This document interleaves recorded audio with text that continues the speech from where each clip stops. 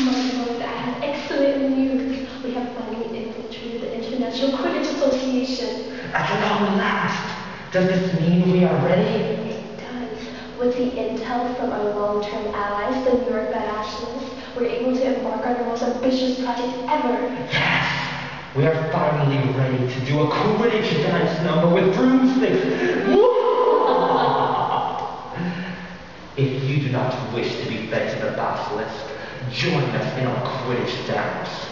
Bring your broomstick and dance shoes, and we will see you on the dance floor.